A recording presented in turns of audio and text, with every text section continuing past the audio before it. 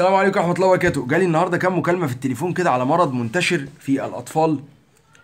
والنبي أي حد عنده ابنه من سن خمسة لسن 15 سنة أو صديقه أو أخوه يتفرج على الحلقة دي مفيدة جدا لأن ده أكتر مرض في القلب يخلي عيل صغير يروح يعمل عملية في القلب لأنه بيبوظ القلب. ويسمى الحمى الروماتيزمية على القلب. والمرض ده بالمناسبة بيتشخص مش بالتحاليل لأن في ناس بتمسك عيل صغير يعملوا له كام تحليل فيقولوا انت عندك حمى روماتيزميه ويدوا له حقنه بنسلين لدرجة إن حقن البنسلين اختفت من البلد من كتر ما العيال السلام بياخدوها. صح؟ صح يا عمر؟ صح. ازيك يا عمرو؟ عامل إيه؟ الحمد لله عمرو من دمياط من الناس المحترمة اللي جالهم حمى روماتيزميه على القلب حقيقي. فهو بيحكي لي انبسطت قوي قوي قوي. فقلت له والنبي تحكي الشكوى دي للناس عشان لو حد جاله حمى زي دي أو حد ابنه اشتكى زيك يسرع بالذهاب للطبيب ونقول هيعمل إيه دلوقتي. انت بتقول أصلا اللي حصل لك ده حصل زمان من 10 سنين. من 10 سنين. يعني وانت عندك كان 17 16 سنة 17 مثلا. سنة. تمام. إيه اللي حصل بقى؟ حسيت بإيه؟ آه، رجليها ورمت أنت الأول سخنت قلت لي. سخن سخنت. كانت سخونية جامدة يعني؟ لا سخونة عادي. حمى يعني. آه. طب ممتاز. وبعدها رجليك ورمت. ورجليها اليمين ورمت. آه. وبعد يومين الشمال ورمت. تمام. ومش عرفت أمشي على رجلي خالص. أ- أنهي حتة في الرجل اللي ورمت؟ الركبة؟ هنا يا دكتور المفصل اللي تحت. عند الأنكل. آه. طب تمام. وال- والركبة نفسها ما ورمتش؟ من هنا مثلا كده. من من تحت كده ورمت مفصل الركبة آه، مفصل. وبعدين وطلع لفوق للأنكل وبعدين للركبة. آه. طب تمام. ورمة جامد ولا ورمة كده يعني؟ ورم ورم جامد. يا راجل أنت بتعمل بإيدك كده فعلا؟ أيوه بجد؟ آه والله. كانت ورمة جامد. ورمة جامد. ومحمرة أو ملتهبة أو كده؟ آه كانت محمرة شوية. ومش قادر تمشي عليها؟ ما كنتش بمشي عليها خالص. أمال كنت بتمشي إزاي؟ كنت بقعد على الأرض كده الموزة بسحب بايدي ياه! أو يشيلوك شيل يعني. و- وطبعا ولا رايح مشاوير ولا مدرسة ولا أي حاجة قاعد آه. قاعد بسببها. آه. وبعدها بكام يوم؟ بأسبوع. رجليك التانية ورمت آه. نفس الطريقة؟ نفس الطريقة. من الأنكل. آه. والأولانية بدأت تفش شوية؟ بعدها؟ يعني بدأت تخف شوية بقى و... طب تمام ممتاز. رحت ال... وبعدها انهكت بقى وعرفت إن في مشكلة آه، حصلت في القلب. السلم أنهج. ممتاز. تخليني أقول جملة مهمة والنبي؟ اقطعك اتفضل. طيب. الحمى الروماتيزميه على القلب. اسمع الكلام ده أنا عاوز أقوله لك بس بقوله لكل الناس. هو مرض يشخص بالأعراض قبل أن يشخص بالتحاليل. حمى؟ يعني يبدأ بسخونية دور برد التهاب رئه إنفلونزا لوز. مش شرط اللوز بالمناسبة عشان في ناس تقول لك إيه أنا شايل الواد اللوز. لا ممكن يجيله التهاب في الأذن الوسطى التهاب في الحلق التهاب في الزور التهاب في الشعب الهوائية. هتشيل له كل ده بقى؟ وبعدها بأسبوع أو اتنين يبدأ يحصل التهاب مفصلي بشكل مميز. يسموه fleeting arthritis دي كلمة طبية. يعني التهاب مفصلي يتنقل كالبرغوث يعني يمسك مفصل وبعدين ينط على التاني ولو استنينا ينط على التالت على الكتف على ال ankle على الكوع على اللي مش عارف على الفخذ على الركبة. والتهاب محترم. يعني الواحد رجله تورم وتبقى قد كده. شفت الراجل عمل بايده الاتنين إزاي؟ وما يقدرش يمشي عليها. لو جالي طفل في الوقت ده يجي لي متشال أو جاي بيزحف. على إيده عشان مش قادر يلمس رجله. ولو لمست له رجله ولا إيده يصوت ويضربك. صح؟ حصل آه. ليه بقول كده؟ عشان ما يجيش عيل صغير عنده وجع في كتفه ولا في ركبته فالدكتور يقول له عندك حمى وهو جاي ماشي على رجله. عيب عيب. وبعدها لو استنينا أكتر يبدأ يأثر بدل ما كان حمى. وبعدين روماتيزم كأن عنده روماتيزم وعنده 70 سنة وهو لسه شاب ومش قادر يمشي على رجله. وبعدين يخش على القلب ويبوظ صمام في صمامات القلب. فيحدث كما حصل لعمرو إن عنده دلوقتي ارتجاع شديد في الصمام المترالي وبعض الدكاترة بيعرض عليك دلوقتي إنك تعمل عملية. آه. تغير الصمام المترالي إيه الأورطي؟ آه. طب نعمل إيه بقى؟ عشان ما يحصلش الكلام ده. إن شاء الله ربنا لسه لسه هبص على حالتك ونبص على موضوع الصمام الأورطي ده و- وبعض حالات الارتجاع بتاعت الصمام الأورطي ينفع تمشي معاها بالعلاج فترة طويلة قبل ما تعمل له عملية ويغير الصمام فأبشر.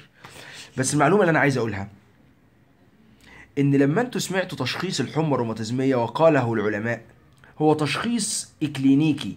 يعني إيه إكلينيكي يا عمرو؟ يعني يعتمد على التاريخ المرضي. لو هو جاي العيان وهو كبير زي عمرو كده أو واحد بيحكي عن ابنه يقول لك الواد سخن وبعد شوية هو إيه اللي بيحصل؟ اللي بيحصل إن في ميكروب بيجي والميكروب بيفضل موجود والعيان ما ياخدش مضاد حيوي. وبعد كده الميكروب يعمل حركة رخمة كده يتشبه بخلايا القلب وخلايا المفاصل فالجسم يهاجم المفاصل والمفاصل تورم ويهاجم القلب. طب أعمل إيه يعني يا دكتور؟ إيه الحل؟ الحل إن لو ابني أو بنتي ركز يا مؤمن في الكلام ده ركز. جاله ميكروب بكتيري وسخن نديله مضاد حيوي. طب أنا أعرف إن العيل جاله ميكروب بكتيري. هو في ميكروب حاجة تانية؟ آه في ميكروب فيروسي. طب وإيه الفرق؟ يعني لو ابني سخن في البيت أعرف منين ده عنده فيروس ولا عنده بكتيريا؟ سهل قوي الفيروس يعني شوية انفلونزا يعني شوية رشح وزكام وبرابير وبتاع وسخونية بسيطة تطلع س- 37 تبقى 37 وشرطتين. والواد بيتعب بيجري ويلعب وكله تمام.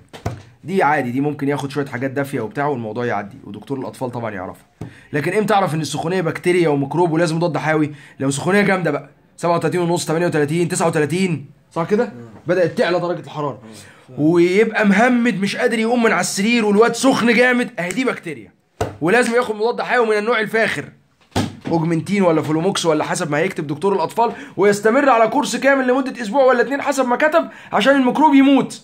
طب ولو طنشت والميكروب ما ماتش والسخونية طولت الميكروب يتشبه بالمفاصل فيهاجم الجسم المفاصل ويجي له روماتيزم وما يقدرش يمشي ويتنقل من مفصل لمفصل وساعات برضه ما بنعرفهاش ويروح لدكتور عظام يقول له لا لا ده تلاقيه بس وقع على رجله ويديله كريم ويعديها. هو حصل كده ولا إيه؟ ده اللي حصل للدكتور إيه؟ فعلا. إيه اللي حصل؟ يعني رحت للدكتور عظام كان هو الله يرحمه فكر لاني اتخبطت في وأنا بلعب كورة. ما هي وا- ورمة جامدة ورمة بتاعت واحد رجله كسورة. الدكتور قال لي آه، لا أنت بس هتلاقيك كنت بتلعب كورة واتخبطت فيها شككت في نفسي. يا لهوي. شككني في نفسي. شككني في نفسي لأن هو ما وقعش. من كتر ما رجله ورمه يظن إنه وقع واتكسر. تخيل بقى. في الحالة دي عارف لو لحقناه؟ نديله ريفو. بيقول لك الريفو اللي هو بتاع ال- الأخضر بتاع الصداع ده اللي هو الأسبرين يعني. بيقول لك إنه يتفاعل بشدة مع المرض ده. ريفو العادي ده. يعمل إيه بقى؟ قال لك يهدي التهاب المفاصل ويخليها تاني يوم تفش. لدرجة قالوا لنا مرة وإحنا في الكلية إن جالك واحد رجليه ورمه ومش عارف دي حمى روماتيزمية ولا لا. واديته اسبرين خف يبقى حمى روماتيزمية.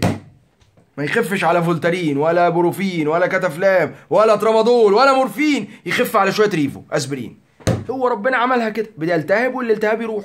طب ولو عرفت انها حمى روماتيزمية اعمل إيه؟ بسرعة بقى أديله مضاد حيوي عشان يموت الميكروب اللي عمل له كل المصيبة دي قبل ما الموضوع يروح للقلب. طب ولو طنشنا وعدت الأيام وقال له لا لا لا لا يا حاج ده الواد تلاقيه وقع الميكروب يروح بعد كده ويسيب المفاصل يروح للقلب فيبوظ له صمام من صمامات القلب. حلو الكلام ده؟ يبقى لو واحد جاله سخونية يعمل إيه؟ إن كانت سخونية بكتيرية بسرعة ياخد مضاد حيوي لحد آخر يوم. طب واعرف منين أنا عندي حمى روماتيزميه على القلب؟ ببساطة قوي إن أنا أعمل أشعة على القلب اسمها موجات صوتية على القلب. تقول لي الصمامات طلعت الصمامات كلها حلوة ما فيهاش ضيق ولا فيها ارتجاع يبقى تمام. ليه بتقول الكلمة دي يا رامي؟ عشان حاجة أخيرة بقى هقولها وأختم بيها الفيديو. إن كتير قوي من الأطفال يروح البيت يا ماما أنا عندي وجع في ركبتي وجع طفيف ولا ورمت ولا حاجة وجاي بيجري. يقوم يروح لدكتور من كتر خوفهم بقى من المرض ده يقوم يقول لها دي حمى روماتيزميه على القلب.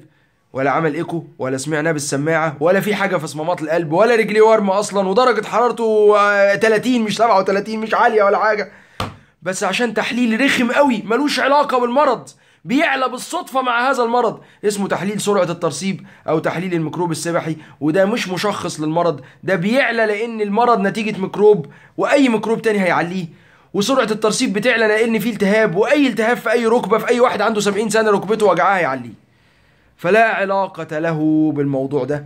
وناس كتير يقول له ده حمى روماتيزمية وياخد بنسلين ويقعد سنين ياخد بنسلين بدون ما يكون في حاجة على القلب. وناس كتير عندهم حمى روماتيزمية يروح يشتري حقنة البنسلين ما يلاقيهاش في السوق من كتر ما السلام بياخدوها صح؟ شوية. ناقصة ناقصة. كأنك بتدور على أفيون. يا ريت تكونوا استفدتوا من المعلومة دي. حافظوا على أولادكم من الحمى الروماتيزميه على القلب. هتلاقوا نصايح أكتر على اليوتيوب وعلى النت وعلى الفيسبوك. اكتبوا نصايح الدكتور رامي إسماعيل أو الحمى الروماتيزميه على القلب هتلاقوها تستفيدوا منها.